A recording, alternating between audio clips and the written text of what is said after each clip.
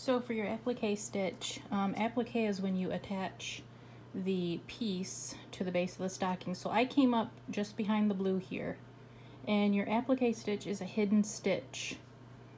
So you just kind of go underneath and you grab a little bit of, I'm grabbing a little bit of the gold and a little bit of the blue and pull it through. I'm working with an 18 inch strand of floss and then you kind of go when you come up you go just to the right of that. You kind of hide your stitch the applique stitch you don't see.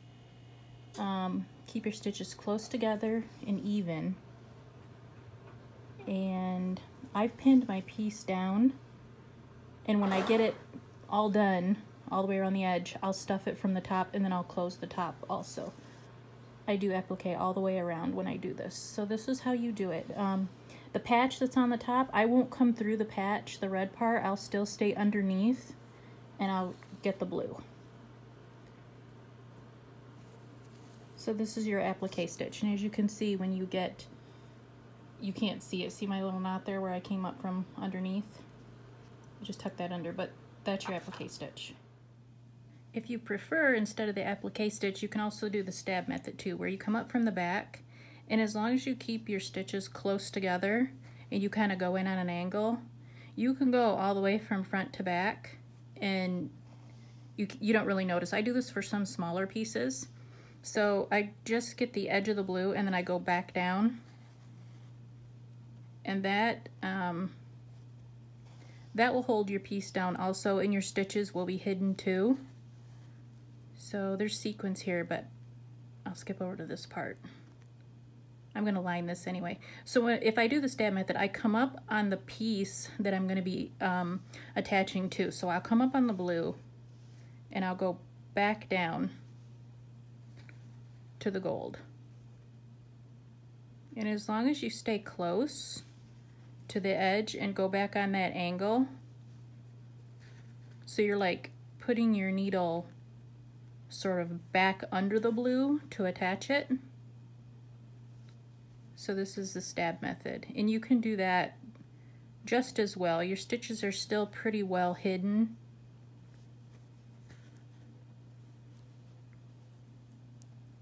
See there? So either way, either one, whichever is easier for you. Okay, here I'm going to show you how to do the cut tacked loop stitch. It's the stitch that looks like hay on the Scarecrow in Christmas in Oz. So I'm going to show you how I do that. So I'm doing um, his hand here and I've got three strands of light gold floss on my small needle. I've got it at 18 inches long.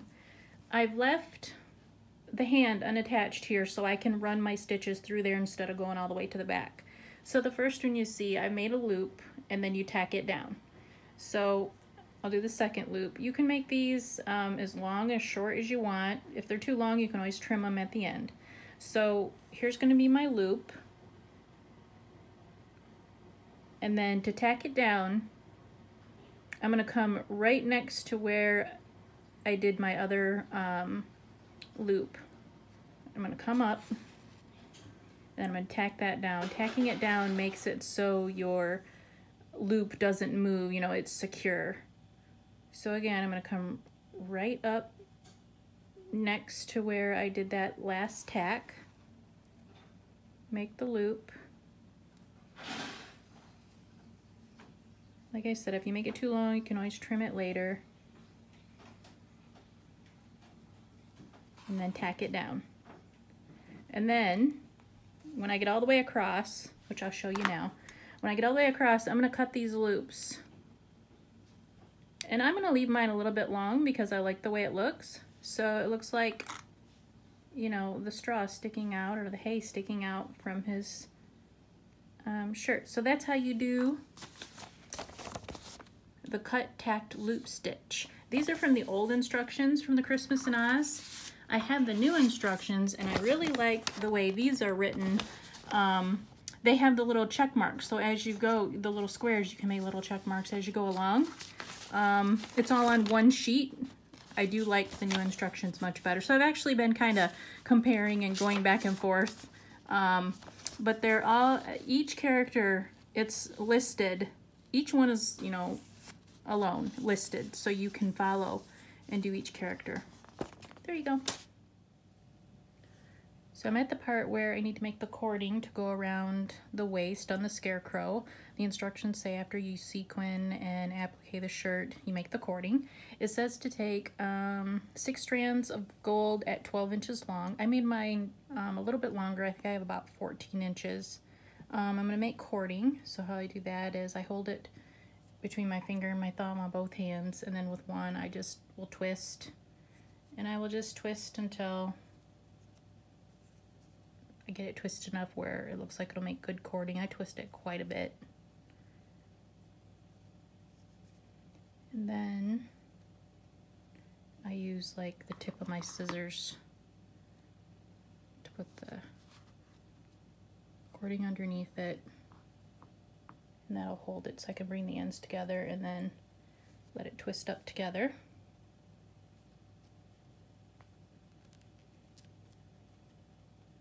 So I have the instructions here and it tells you how to attach the cording to your scarecrow. I'll trim off this end here just a little. I kind of want to leave like, so it looks like a little bit of a tassel at the end. So I'm going to leave this kind of long. So like that. So your instructions say you need a big, a really big, um, big-eyed needle and it's not included with the kit, but I have one here. It's a like a tapestry needle. It's got a really big eye on it, so that will let you um, put your cording through the eye here. And then the instructions say to go in one side of his waist, come out the other.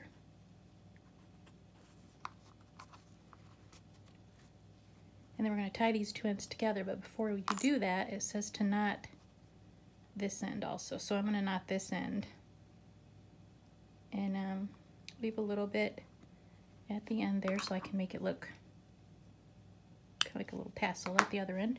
So I'm going to tie these two together just in a knot. And then once I do that, I'm going to want to keep the cording on the dashed line that's there. So this is how I do that when I do cording and I need to attach it. So you can kind of see where the twists are in the cording. So I'm just going to follow that. So like for this first one, come up from the back. I've just got a single strand of gold on my small needle that comes with the kit. And I'm just going to kind of follow that line. You can see where the two are twisted together. If you pull it tight, you can hide your stitch so it's not, you know, messing up the cording or anything. You still have the twist in the cording, you're just kind of putting your stitch right on that twist there. And that'll help to keep it in place. I'll do this like every twist, every other twist. It doesn't matter, whatever you think looks good. So on the other side here, see if I didn't put that stitch in, you could see the dashed lines.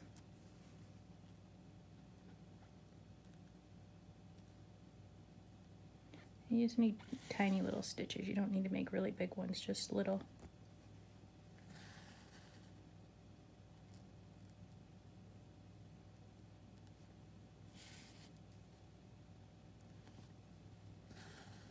And that's how you keep the cording on the line. It'll stay in place. I'll do one more right here.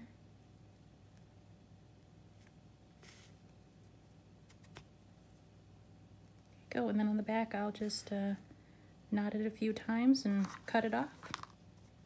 And there's his cording.